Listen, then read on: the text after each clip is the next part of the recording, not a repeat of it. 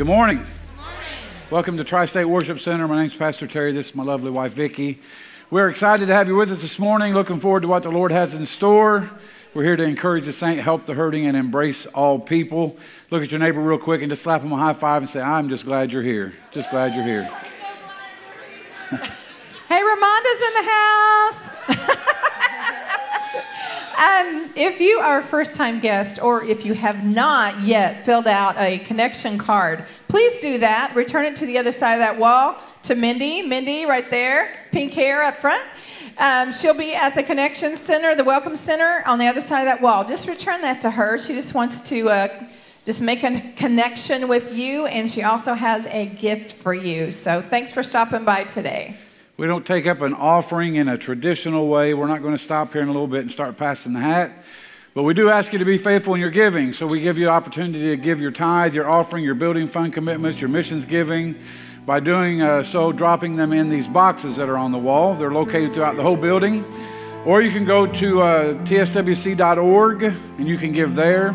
You can text to give, which is really the easiest way to give 740 370 4342. Matter of fact, if you do that, I would encourage you to set it up on reoccurring giving so that way when you go on vacation, we'll still steal your money. Or you can swipe your card at the kiosk out here in the foyer you can give that way. But we do need you to continue to be faithful in your giving. So thankful for your giving that allows us just to keep things going on. So we appreciate that. Okay, grab your cell phones. Go to TSWC, like and share. That way, your friends and family can join us uh, in our service today. Let, let me just share something real quick with you how important it is for you if you ha- if you're on Facebook for you to share uh, our Facebook Live broadcast because let me just give you the statistics from last week. This is just last week, all right? If you guys will throw that up there, we reached 2,800 people. Okay, but and that's a that's an incredible number, but that was only 26 people sharing it. Only 26. So if we had 100 people sharing it, how many more people would hear the good news of Jesus Christ? right? And so we had 2,800 people reached, and at least a thousand of those people, at least a thousand, clicked on the video for at least three seconds. We don't know how long they stayed engaged, but if they clicked it and was on there for at least three seconds, uh, that, there was a thousand people that did that, and then there were 403 what they call engagements, and that is all those things down below there added up. We had 40 reactions, 17 comments, 26 shares, 155 clicks to play, and then 165 other clicks. So I, when Vicki says, get your phone, go to TSWC uh, Facebook and share that, we're not doing that because we're making some kind of money off of that or something. We're doing it because we want to reach more people with the good news. So if you'll do that, we sure would appreciate it. Thank you very much. Thank you for that. Thank you, Vicki. You're welcome. Thank you, Terry. Thank you. You're welcome. Okay, so it always to, pays to be polite to your spouse. Um, American and I say amen. American Heritage Girls is starting soon. Carolyn's in the house. Woo woo! So uh, there's an organizational meeting next Sunday, uh, February the 2nd at 4:30 in Journey Room. Okay, in the journey room. So, uh, Carolyn, we'll see you all there. If you're interested in getting involved in that, uh, please come to that meeting and maybe get in contact with her prior and just to see maybe how you can get involved. Uh, TSWC Women's Conference, yes! Saturday, February 22nd. You guys would be surprised how many messages I am getting from people in other states that are planning to come and spend that one day with us, getting motel rooms. It's not just for local.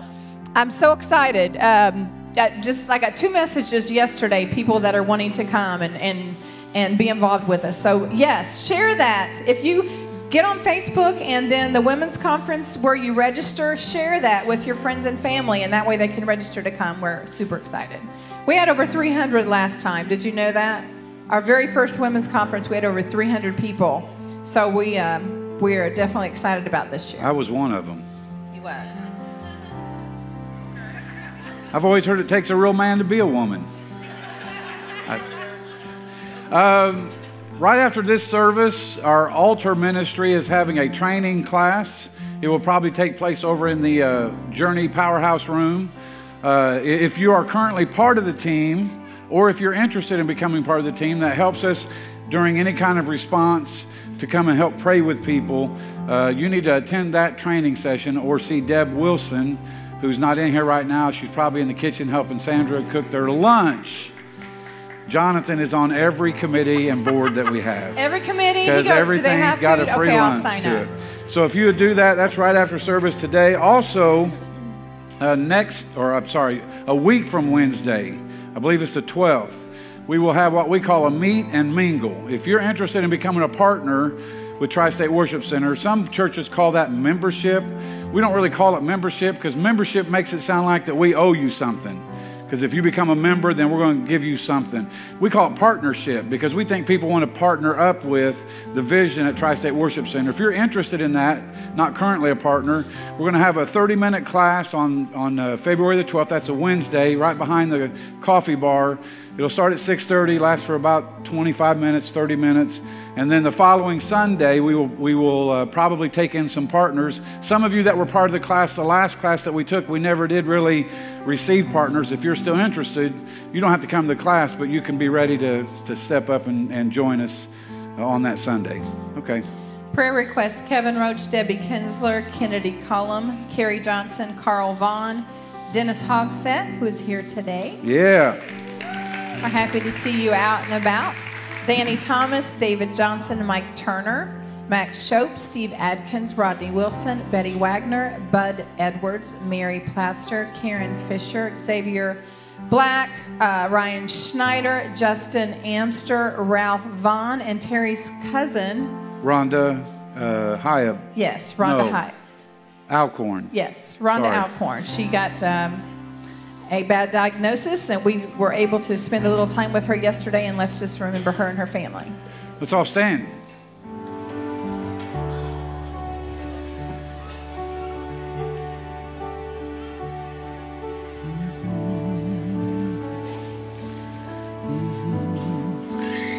Come on, whisper that.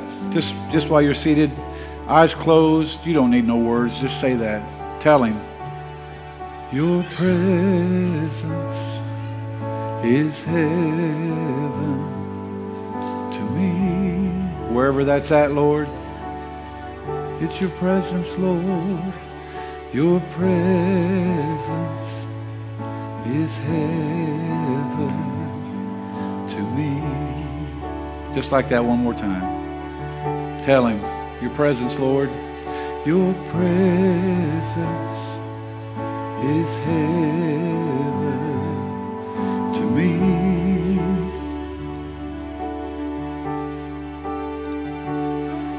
Your presence is heaven to me. Amen. Amen. Amen. He is good. Don't forget after this service, if you want to be involved or, or already involved in altar ministry, uh, they're going to have a little training session over in the uh, Powerhouse Journey Room. Your lunch will be provided. So if you're part of that ministry or are interested in becoming part of that ministry, we're asking you to attend that training session. See Deb Wilson, who's now in the plaid uh, dress in the back, standing next to her friend Sandra Stevens. So uh, if you'd do that, we'd appreciate it. If you'll come back tonight, uh, we're going to uh, continue our series on making the right choice. Making the right choice. Listen carefully. Listen carefully. I, I know I say it, and I'm going to say it till Jesus comes back. Everything that burdens or blesses your life is wrapped up in the choices that you make. I think four of you agree with that, but it's true. I know sometimes, you, well, okay, it was five. All right, five. You heard five, I heard four. Your hearing's better than mine. Um, everything that blesses or burdens our life is wrapped up in the choices that we make. And you're free to make any choice you want to make. You can make whatever choice you want to make. That's how God created us. We are volitional beings. We get to decide to do what we want to do when we want to do it. But you're not free from the consequences of those choices.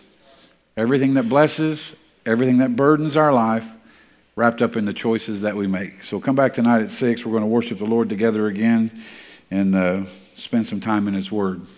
I want to talk to us for a few moments about a game that we think God plays with us sometimes called divine hide and seek. We think he's playing a game, but he's really not. He's really not. I want to talk about the hiddenness of God. Now, listen, don't everybody send me messages after service and tell me that that's not a real word. Okay, I get it. Hiddenness is not a real word. I get it. But it helps describe what I want to talk about. And you need to be patient with me this morning because it may take me a while to really communicate what I feel like the Lord has laid on my heart to say to you this morning. And keep in mind that while you're being patient, I haven't really delivered a full sermon in the last two weeks, okay? So just be patient with me and, and we'll see where the Lord takes us. I think I can safely say, and I think you would agree with me, that we live in some very difficult times. I think it was the same five, Gary, that said amen. I think we live in some difficult times. Now, listen, if you'll talk to me, I'll, I'll go faster. We're up to six now. We live in some difficult times. Road rage that has ended, in some cases, in death.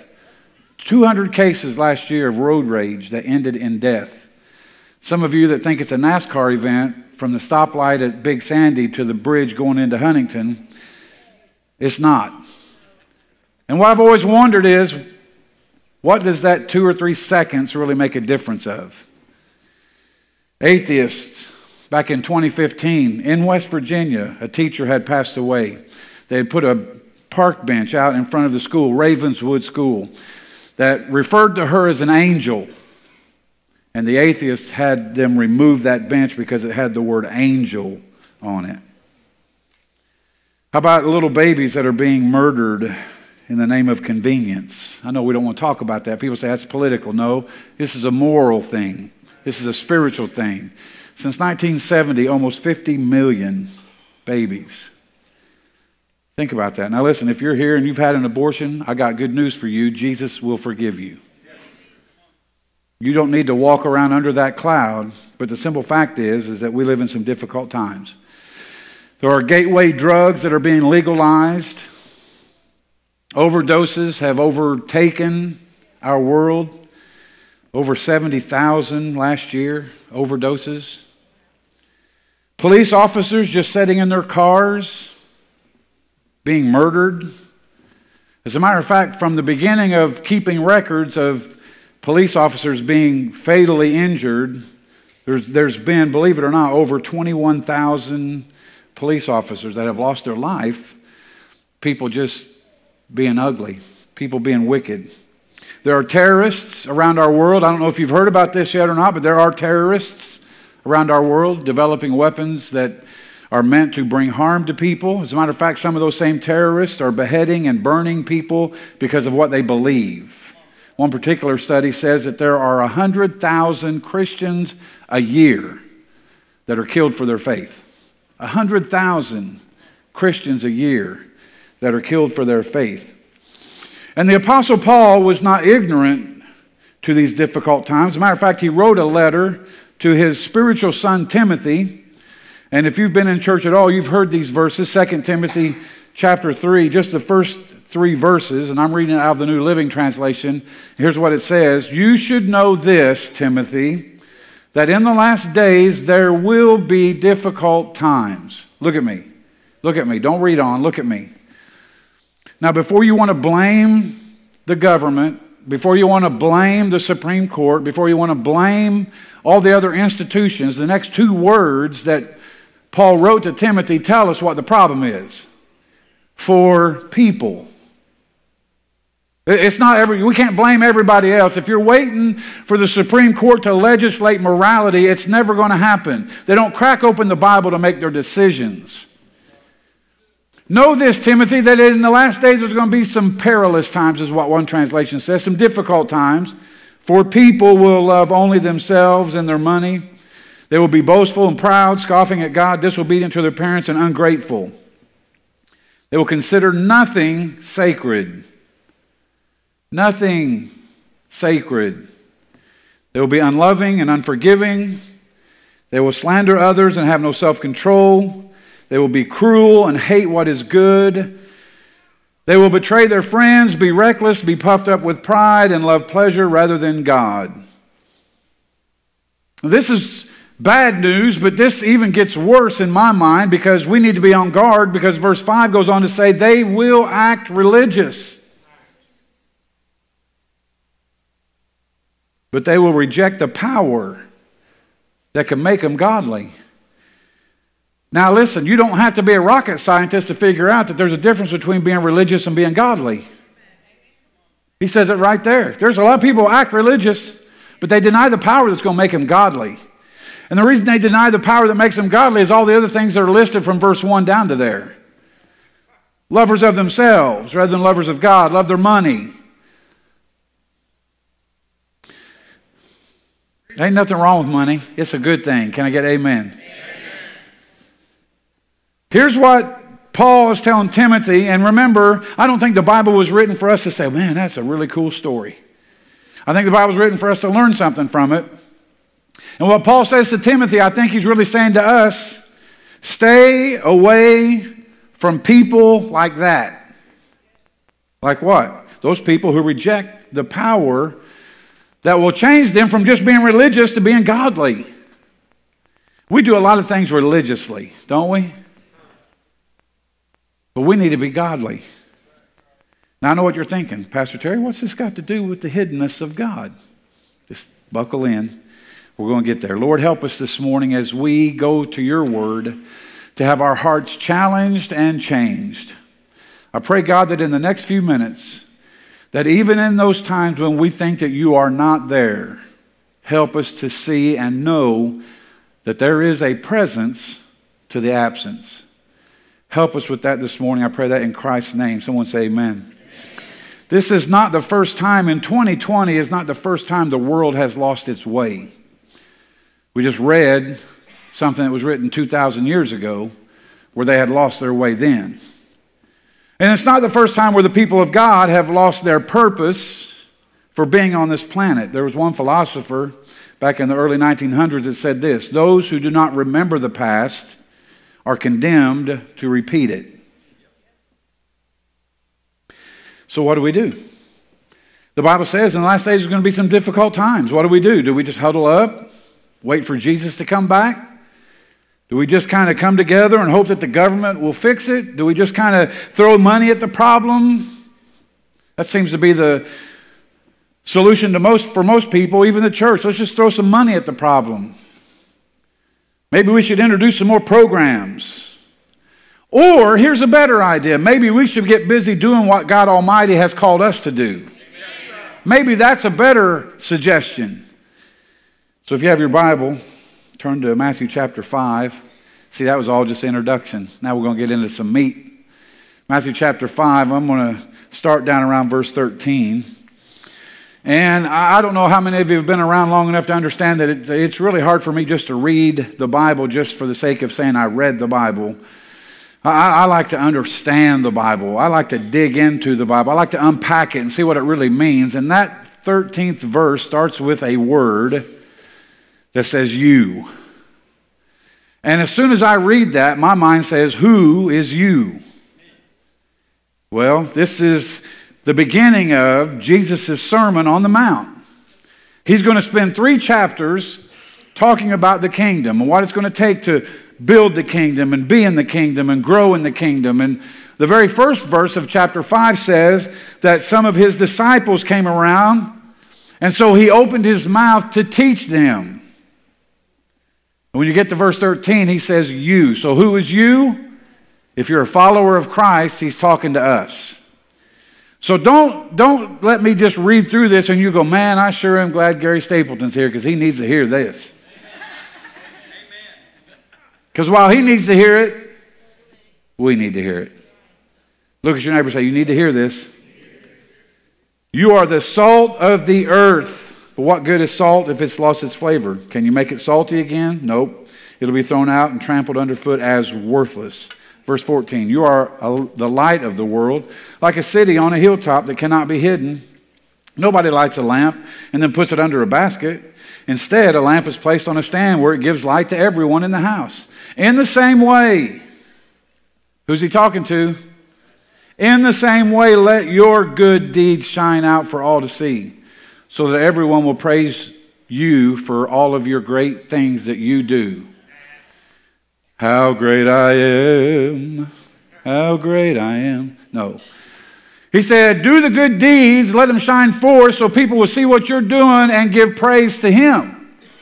Listen, I know I've said it. I believe in learning by rote, though, you know, just repeating it over and over and over again. God did not put you on this planet to make a big deal about you.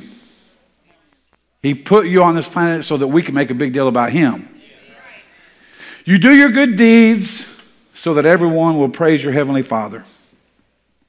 Set that aside for just a minute. Let's go back 2,700 years. Just before the children of Israel are in exile in Babylon.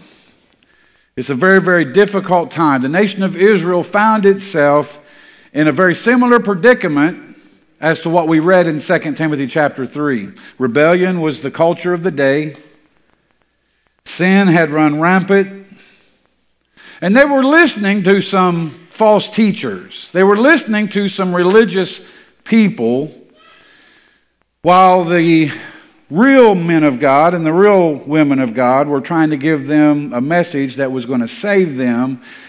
Some false teachers were giving them some false hope and saying things that they really liked to hear. And while the real man of God was warning them of impending captivity, of this exile that was about to happen, all they wanted to hear was what was going to make them feel good. Say something, prophet, that will make me feel good. Say something, prophet, that in the midst of my dilemma and in the midst of this awful culture that we live in, that's going to make me feel okay. Are you strapped in? Strapped in tight? Isaiah was a prophet around that time. In chapter 64, Isaiah is no longer a young man like he was in Isaiah chapter 6. In Isaiah chapter 6, he saw the Lord. You remember that? High and lifted up, and his train filled the temple. And Isaiah was a young man and said, Woe is me, for have unclean lips. They took the coals from the altars of heaven, touched his lips. But then when you read through the book and you get to chapter 64, he's not so young anymore. He's an older fellow. And he's returned with the people from the exile that they would not listen to the man of God, that would have maybe prevented them from going into exile. Listen to me. You're free to make any choice you want to make, but you're not free from the consequences of your choices. The children of Israel got into this terrible cycle of being obedient, rebelling, becoming disobedient, going into captivity, repenting, becoming obedient, and this, this vicious cycle. And the, and the man of God, the prophet says, Please stop. If you'll just stop, then you're not going to end up in those places that you don't want to be. Hang on to that. Just park that in the front of your brain. What happened to the children of Israel? They were taken captive and they were exiled to Babylon. When they finally were allowed to come home, what did they return to? They returned to a ruined city, a temple that was in ruin, lives of people that were in ruin. You could wrap it all up into one package and say these were some very, very dark days for Israel. These were some terrible times for Israel. It had been a long time since anybody had seen God do anything. And in the middle of this is where we read Isaiah's prayer in chapter 64. And here's how he starts it Oh, that you, Lord, that you would burst from the heavens and come down, how the mountains would quake in your presence. Isaiah throws out this lament, this, this sad prayer, and he's pleading for God to burst from the heavens once again. In other words, Lord, you've done it before. We need it now. We are longing for you to do something. Burst from the heavens. And amid the ruins of their lost faith, Isaiah, this is a lesson for us to learn. Isaiah doesn't just throw his hands up and say, oh, well, just forget it and walk away. No, what does he do? In the midst of all the trial, in the midst of the turmoil, in the midst of the darkness, he prays. Can I just tell you that's one of the good things that you can do when you find yourself in a bad spot, when you find yourself in a difficult time? How about praying? And he cries for God to be visible. He cries for God to be present instead of hidden. And he goes on to verse 2 As fire causes wood to burn and water to boil, your coming would make the nations tremble. Then your enemies would learn the reason for your fame. When you came down long ago, look at me, he's referring to the children of Israel being released from the, uh, from the bondage in Egypt. When you came down long ago, you did awesome deeds beyond our highest expectations, and oh, how the mountains quaked. For since the world began, no ear has heard and no eye has seen a God like you, who works for those who wait for him. Isaiah is saying that whenever God comes on the scene, things happen. Things happen. While they were in captivity in Israel, as it came to an end after 400 years, they saw the plagues. They saw the release from the Egyptian captivity. They saw the sea open up and then close on their enemy. They saw the smoke during the day and the fire by night. God led them to the promised land and allowed them to conquer and take the promised land. And on and on and on, I could go on forever. There's evidence that when God's on the scene, things happen. And as a matter of fact, I would say anybody could testify to that this morning. In your own life and in my life, when God's on the scene, things happen. What was it for you? Was it a healing in your body? Maybe it was a healing in your marriage. Maybe it was some financial intervention. Maybe it was a career move. Somehow, someway, when God was on the scene, things happened. But the question is, what do we do now? In the times that we live in, in the times that Isaiah was writing about the children of Israel living in, what do we do? Look at verse 5. You, God, welcome those who gladly do good, who follow godly ways, but you've been very angry with us. Look at me. Who's us? Us.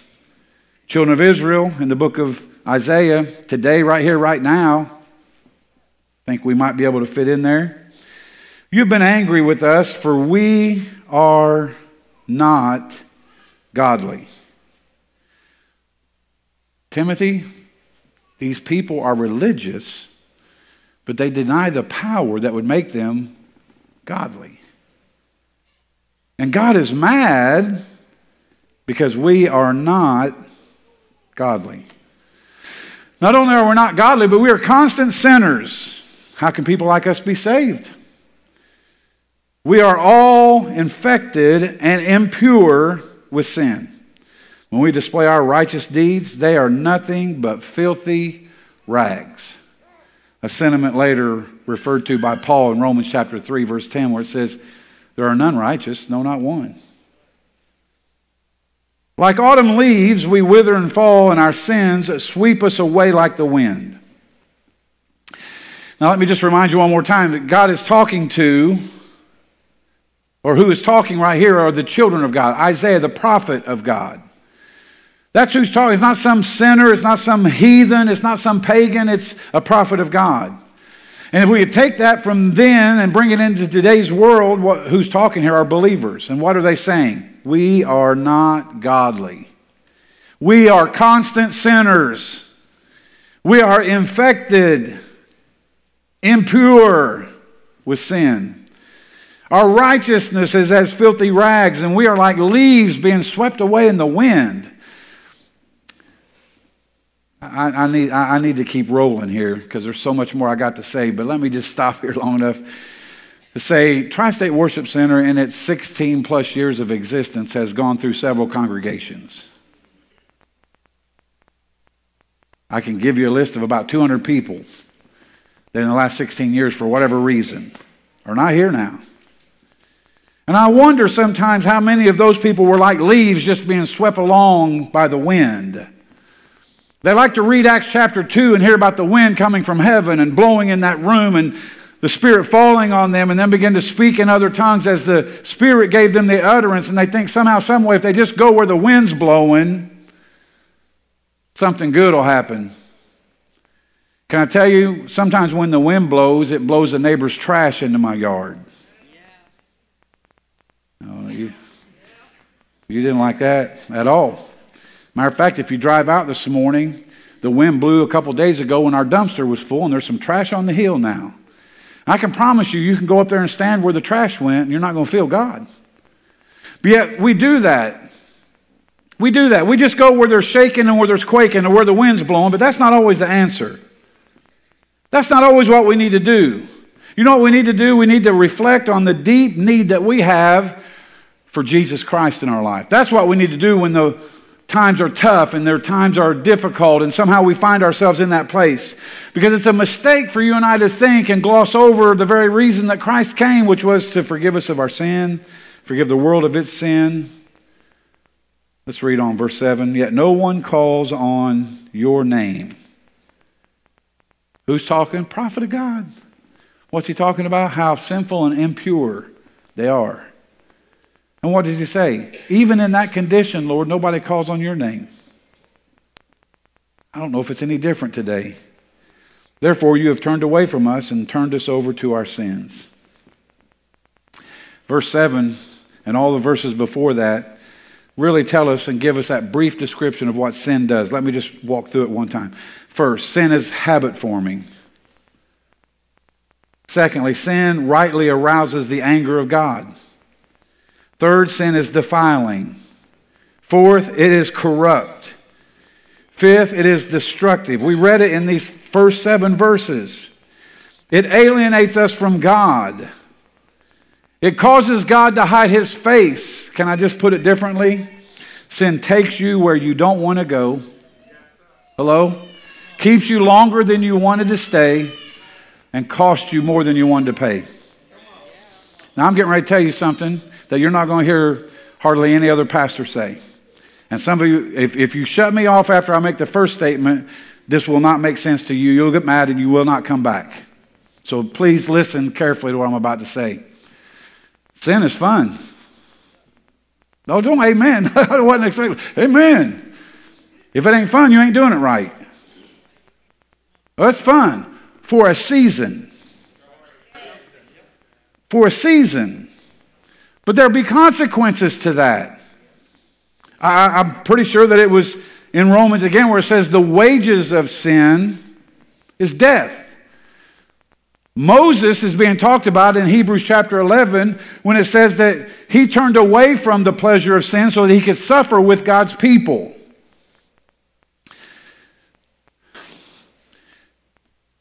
Too many times, believers, when given the option, Want to have some fun? Want to suffer? We don't want this. We, we, we, we might come over this way. And it keeps us longer than we wanted to stay, and it costs us more than we wanted to pay. And before you know it, God has turned his face from us. Think about the prodigal. Think about the prodigal son. He was having a blast till the money ran out. Listen, but even then, the Father was looking for him. Sin will have its pleasure for a season. But there is a shepherd that's looking for us. There's a God who loves us because he knows that the wages of that sin is death.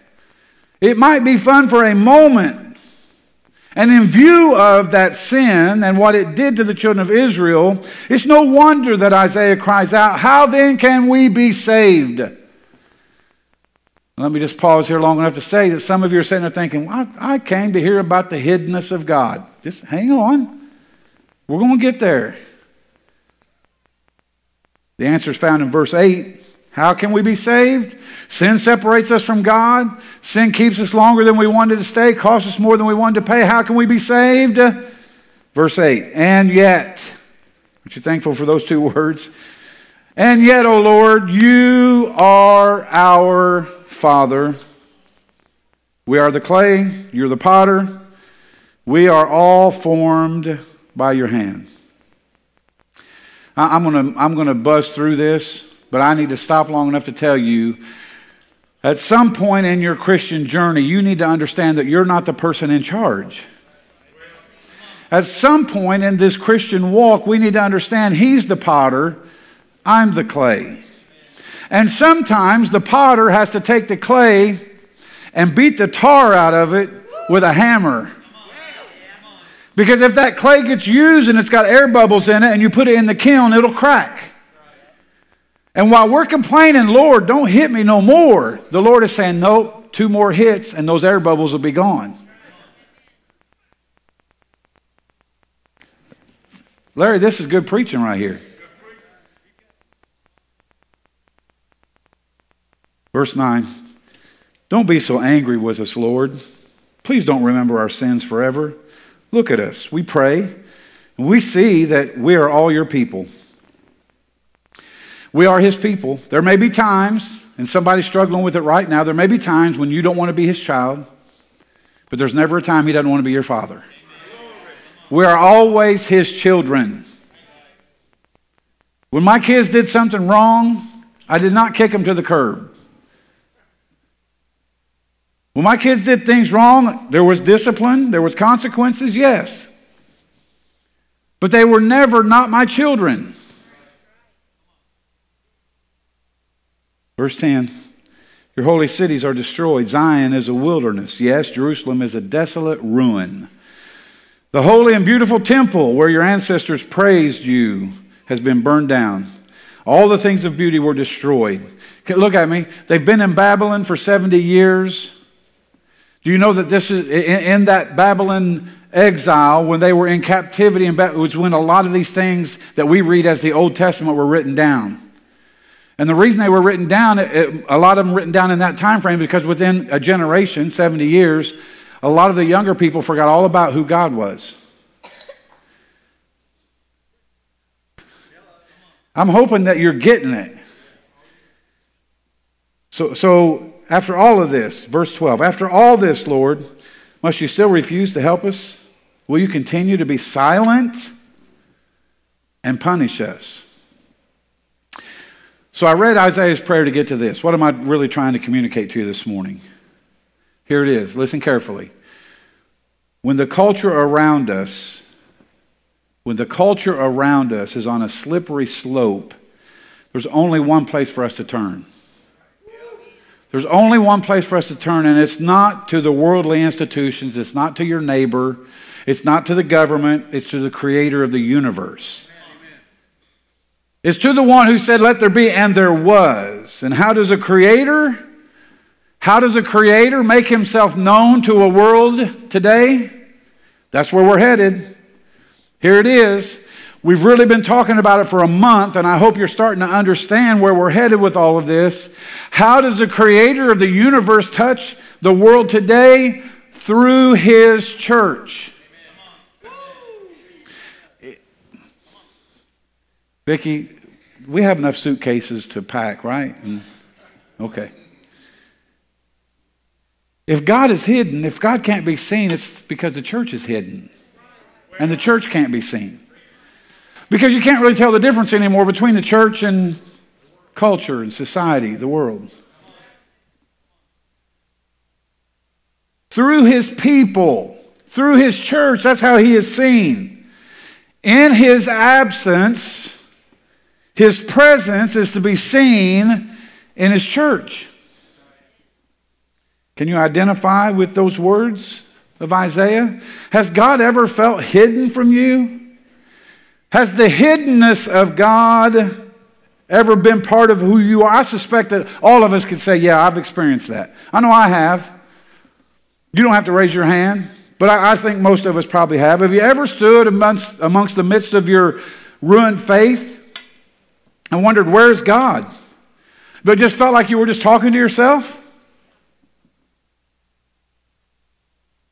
Have you ever stood beside the bed of someone in pain, someone dying, and asking the Lord to help them, but felt that God was just so far away that He couldn't do anything? Hmm. Have you ever felt that God had been hidden for too long? Have you ever been at that place where you say, God, just come down and tear the heavens, make the mountains rumble? I'm in a situation, I'm in a circumstance where I need you, I need your presence. But how can you experience the presence of God when all you know is the hiddenness of God? How can you experience His presence in your life when it seems like this all you know is His hiddenness? He's not here.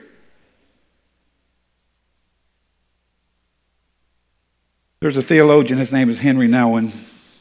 Here's what he said. He felt the same way what I'm trying to tell you this morning. In fact, he coined the phrase, the ministry of absence. And here's what he said to describe God's actions among us. Here's what he said The minister, now he wasn't necessarily talking about the pastor of a church, he's talking about people who follow Christ. We're not called to cheer people up. Man, I wish I'd have just stopped right there. Because, see, you think that's the only reason that you're paying tithe and offering so I can cheer you up. No. No, the ministry is not about cheering people up, but to modestly remind them that in the midst of pain and tribulation, the first sign of the new life can be found and a joy can be experienced which is hidden in the midst of sadness. Philip Yancey is, is a top three Christian author for me. I love reading after Philip Yancey. He wrote a book called Reaching for the Invisible God. And here's what he said I experienced the sense of abandonment just as I was making progress spiritually, advancing beyond childish faith to the point where I felt I could help others. Suddenly, the darkness descended. For an entire year, well, we couldn't do it for five minutes. For an entire year, my prayers seemed to go nowhere. I had no confidence that God was listening. No one had prepared me with the ministry of absence. Pastor Terry's trying to help us this morning understand the ministry of absence can be an incredible learning time. The ministry of absence can be an incredible learning tool. Another point in the book, this is what Philip Yancey wrote. He said, God's style often baffles me. Pause, pump the brakes, look at me. Those of you that have God all figured out, that's not the God I know. Because his ways are not our ways, his thoughts are not our thoughts. You got him figured out, you got the wrong God figured out because you ain't going to figure him out. He doesn't do things the way we expect him. He does not exist on a linear timeline. He does not exist in a chronological order that we got to have, right? I'm going to set my alarm for six. I'm going to be at church by seven. I'm going to eat a donut before Sunday school. I got it all planned out. We get done here in a few minutes. I'm going to go home. Vicky's got some wonderful food prepared for us, and we're going to eat. God doesn't live that way. God works in moments, in seasons, when the time is just right. And while we're trying to figure it out logically and rationally and trying to have some reason about it, we are never, ever, ever going to figure him out. And when we waste time trying to figure him out, we're missing out on the opportunity for the absence to really minister to us. Hang in there. This is going to make sense in a minute, I promise. God's style often baffles me. He moves at a slow pace, prefers lay, uh, rebels and prodigals, restrains his power, and speaks in whispers and silence. Yet, even in these qualities, I see evidence of his long suffering mercy and desire to woo rather than to compel. Look at me. Philip Yancey said he felt like the Lord had just left him for an entire year. I know I'm talking to somebody right now.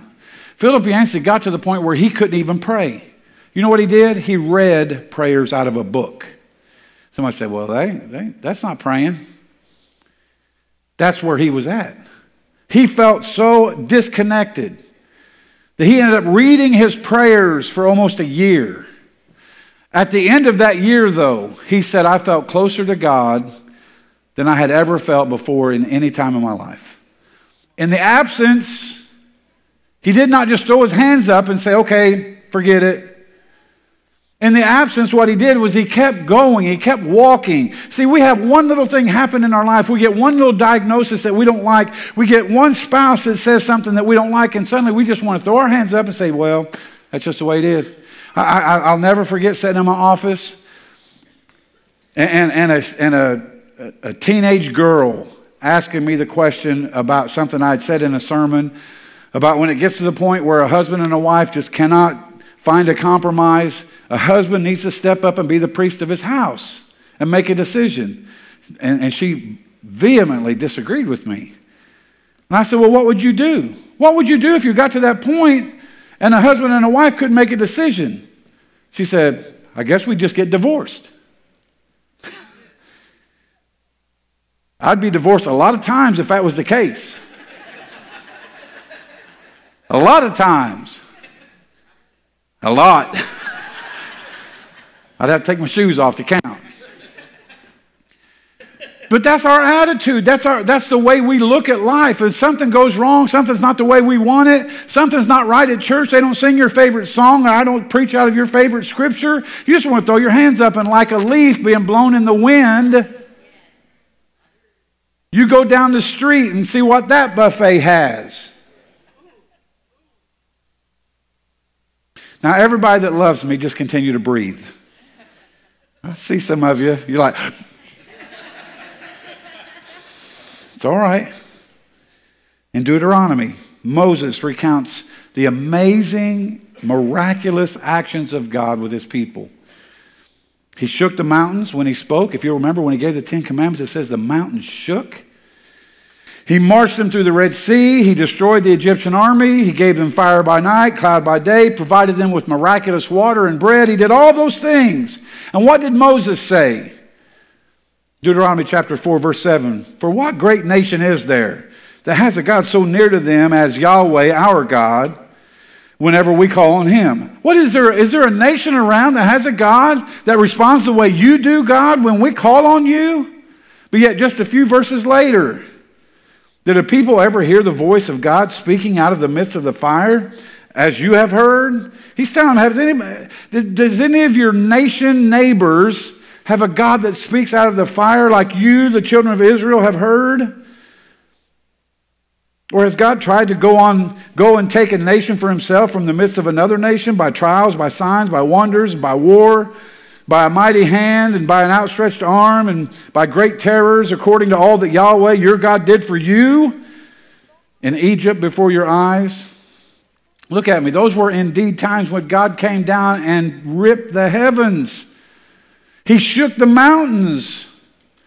But in Deuteronomy, it shows us that Moses was filled with fear that the people would not obey the Lord in spite of seeing all that they had seen. In spite of them walking through and seeing God provide for them and protect them and allow them to be a, a, a conquering nation, Moses was saying, These people aren't going to remember this. They're not going to remember this. And indeed, his premonition was exactly right. That's where we get the prayer of Isaiah because the children of Israel had forgotten their God. That's why they went into Babylonian captivity. Listen to me. When God was spectacularly visible and active with all of these miraculous things, history shows us that those actions do not produce faith. That just sounds contradicting to me. That doesn't even make sense sometimes. Think about that. All the great things that God has done, does not really produce faith. Think about this for a moment. So, dare I argue with you this morning that the absence of God produces more faith than the presence of God? The absence of God produces more faith than the presence of God. I wonder who would agree with me. Remember Nouwen's words the minister is not called to make people feel happy, but to remind them that in the midst of their pain and in the midst of their tribulation, joy can be found. So I suspect that if we look carefully at human history, we would find that to be a fact. That it's not the miraculous things that builds our faith. It's being able to walk in the I don't know that builds our faith. It's being able to walk in the hiddenness of God. It's being able to walk in the absence of God. That's what builds our faith. Because this is a walk of faith, not of sight. It's not about what I can see or about what I feel. It's about believing that God is telling me the truth. That He is my God and I am His child. And the reason I think is because in the absence, it builds our faith. In those times when it seems like He's hidden, it builds our faith. But on this side of Isaiah 64, all these years later, there's another reason why I think it helps us is because the absence of God now has a shape to it. The absence of God now, has a form to it. His name is Jesus. His name is Jesus. Isaiah was expecting the Messiah to come then, didn't come for a thousand years later. But what happened? He came, he died so that we can have freedom from sin and the punishment of sin, so that we might have life and have it evermore. And he said, If you have seen me, you have seen. And that shape is Jesus Christ. That's why I love Colossians chapter 1. It tells us simply that he is the image of the invisible God. Christ is the image of the invisible God. Now let's just tie it all together real quickly before we pray. If the world or people in the church don't see God, it's because the church is not reflecting Him. Because we see God now through the person of Jesus Christ, and we are His body. And sometimes it's the hiddenness or the absence of God that builds our faith over us just having everything provided for us whenever we want.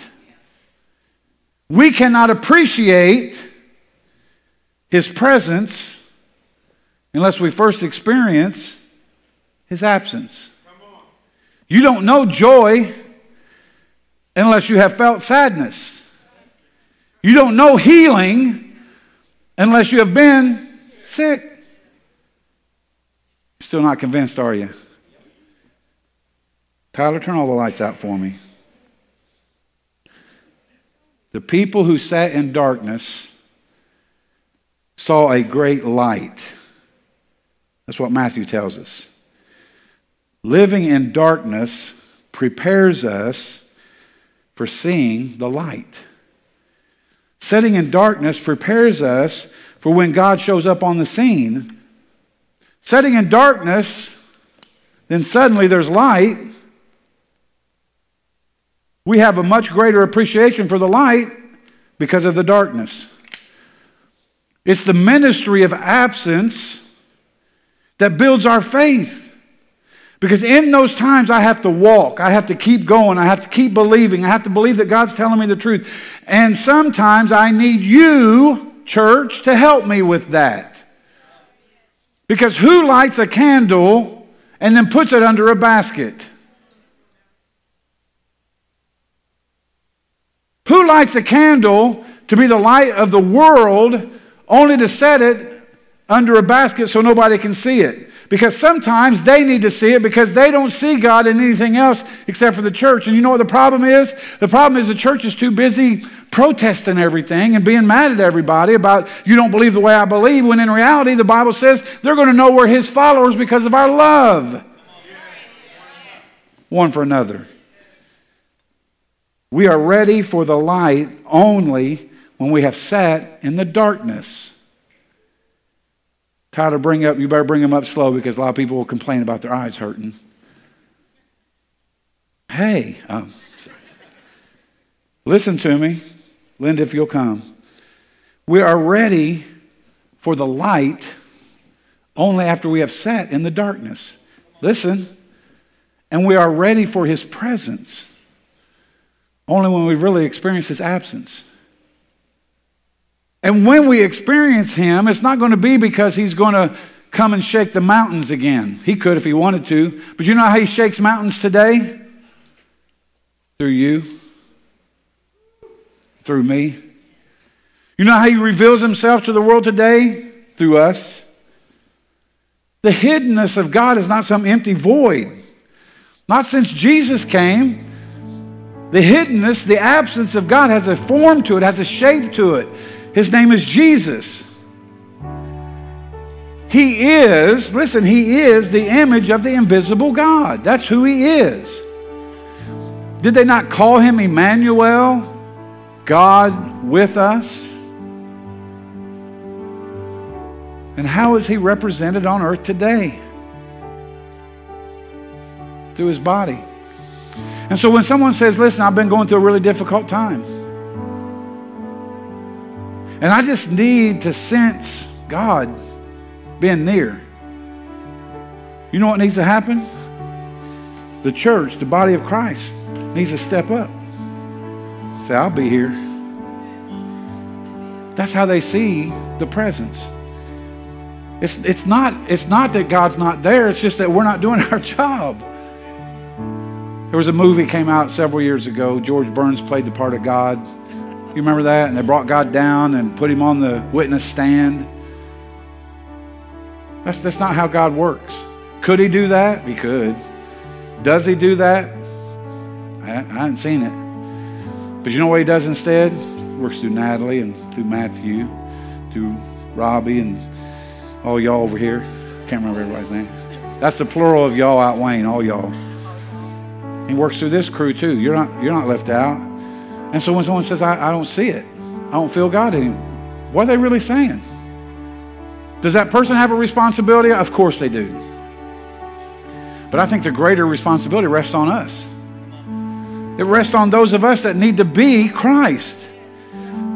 One theologian once said, Go out and preach the gospel. Sometimes use words. You, have heard that old saying, You're the only Bible some people will ever read. I know that's cliche ish, but it's true. So, what is the hiddenness of God? The hiddenness of God, I think, sometimes is when we don't do what we're supposed to do. And our text from Isaiah shows how Israel yearned for God to be made known. They wanted God to be made known. And that yearning was gloriously answered in the person of Jesus Christ. And today it's answered through the body of Christ, which is his church. See, our problem today, and I got to quit, our problem today is simple. We, we see those opportunities to be Jesus in the flesh, we see those opportunities as interruptions rather than opportunities. See, the greatest commodity that we have on this planet today is, is not money. It's not gold. It's not oil. You know what it is? Time. You ask somebody to help you do something, they're not going to ask how much it costs. They're going to ask, how long will it take?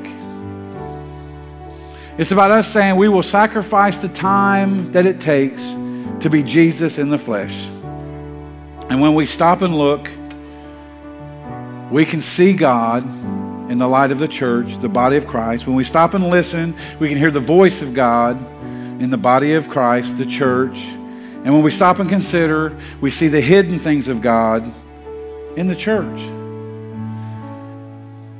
If we are able, if we can see that light, if we can somehow see that light, the world becomes a different place. And that light's reflected in us as we do good things, it points people to God. This is not just what Pastor Terry has to say, it's what the Bible said. When you do good things, it will point people to God. Well, I just, I just don't feel him anymore. It's not about your feelings. I, I know that's hard for us as human beings. Stand with me. When you're standing, I'll, I'll shut up quicker. Because I know what it is to stand after someone says stand and then they talk on for 15 more minutes. I don't want to do that. Listen to me. He is always there. He's an ever present help in the time of trouble. He said, I will be with you always, even to the very end of the age. But the challenge is for us to understand that He is with us through the body of Christ. That's how He's with us and through the power of His Spirit. Remember those people that were religious, but they denied the power that was going to make them godly? Those are the people that just won't let the Spirit of God change them and make them into who they need to be. And so here's, here's my plea to us this morning. Here's what I want you to wrestle with, I hope, all week long. What are you doing? What are you doing to show people the presence of God rather than the absence of God? What are you doing to be the body of Christ? What are you doing to show others God is here? He's here. He's not hidden, He's here. I see Him in Megan. Megan, I see God in you, especially when you smile like that. Now, when you're frowning, not so much, but when you smile like that, all the time. I, I, I, hope that I hope you understand where I'm coming from. Lord, thank you for this morning. Thank you for the challenge of your word that tells us that even in those times of absence, even in the times of the ministry of absence, we are your hands and your feet. We are Jesus in the flesh. We are your body. And Lord, when those people who feel like that you are somehow distant, help us to understand it's our responsibility to comfort them and encourage them and speak words of, of, of knowledge and encouragement, uplifting to them. Those times when we ourselves, Lord God, go through the seasons where we just don't feel like you're there. Help us, Lord God, not to throw our hands up in despair, but just be able to keep walking knowing, knowing that you're a God that's ever present, ever present. Even when the doctor gives us that diagnosis, even when the spouse tells us what we don't want to hear, even when our children rebel, even when the church does things we don't like. Help us to understand, help us to know, help us to remember you are always there. Thank you for that this morning. Ask it in Christ's name. Keep your heads bowed for just a moment. It is so awesome to have a God that loves us so much that He sent His Son to die for us, that if we would just believe on Him, we wouldn't have to spend eternity without Christ, but we could live forever with Christ. How cool is it that we have a God that loves us that much that He wants to be present in your life? He offers salvation. This morning, you may be here and you may not be in a right relationship with, with Christ. Maybe you were at one time, fell away from that. Maybe you've never made a decision for Christ. This morning, things can change, but only because you're allowed to make a choice this morning. Everything that blesses and burdens your life is wrapped up in the choices that you make. And if you're not in a right relationship with Christ, you're getting ready to make a choice that will either bless or burden your life. So if you're here this morning not in a right relationship with Christ, would you come? Let me pray for you right now. Would you do it?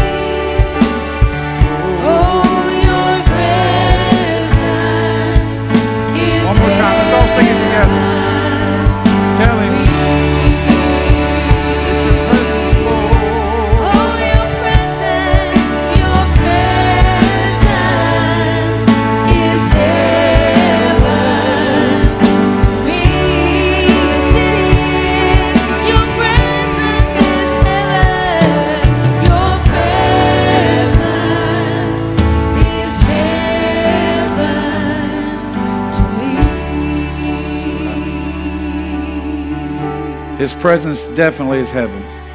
And heaven is wherever He's at. Wherever He's at. Sometimes when we feel He's not there, He's there. We just need somebody to be His body. And that's what He's calling us to do. I, hope that the last four weeks have just tied together how important it is for the church to represent Christ to the world. Because there's a world out there that doesn't even think He exists. And, and sometimes they think that because we haven't been very good evidence. But we need to be better evidence. So, Lord, use me, and I pray that He uses you. Come back tonight at 6. We're going to talk about making another choice. Uh, all the choices that we make will bless or burden your life, and it's up to us to make the right choice. God bless you. Sister Wagner has something to say. Oh, did you get? Okay. We got a message, I think, a video message. Good morning. Good morning. I have small surprise, small surprises. Good morning, Tri-State Worship Center. I'm getting to go home today. It's been a rough ride, I tell you, man. It's been a rough ride. Uh, thank you, everybody, for all the prayers and uh, coming to visit and text messages and and whatnot. Um, we're uh, we're in a battle, but it's a battle I'm going to win, and it's a battle that uh, God's put before me. And uh, thank you, and I just still cover your prayers, and hopefully see you guys very very soon. Love you all. Thank you guys for everything. We love you. We're going home to our pop ups in Haven. He's present, even when things aren't good. He's still present, and He's present in His body. God bless you. Have a great afternoon. We'll see you tonight. Hello,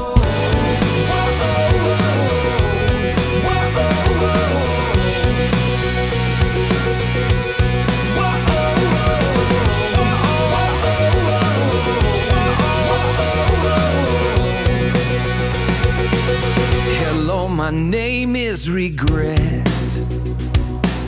I'm pretty sure we have met. Every single day of your life, I'm the whisper inside that won't let you forget. Hello, my name is Defeat. I know you recognize me. Just when you think you can win, I'll drag you right back down again till you've lost all belief.